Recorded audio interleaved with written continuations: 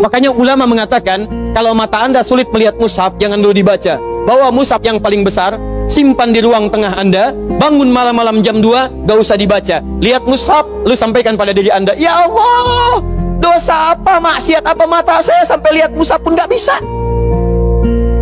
Anda mesti hati-hati. Dan anda berlomba dengan itu.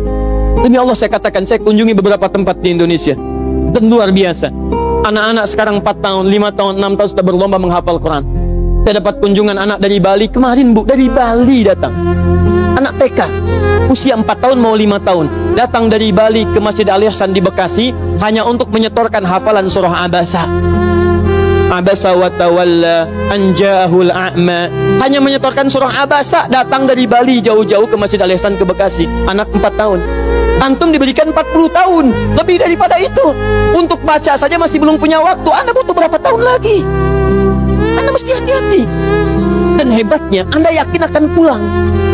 Anda yakin akan meninggal. Saya bingung saya. Urusan dunia Anda cari-cari. Berangkat gelap, pulang gelap. Tapi Anda yakin akan ditinggalkan anda punya uang, Anda beli mobil, tapi Anda tahu mobil itu akan dipakai. Mobil itu akan ditinggalkan. Anda punya uang bikin rumah bagus-bagus, luas-luas, mewah-mewah, tapi Anda sadar akan meninggal itu akan ditinggalkan. Meninggal dunia, semua dunia ditinggalkan. Pertanyaan saya, apa yang Anda bawa pulang saat kembali kepada Allah?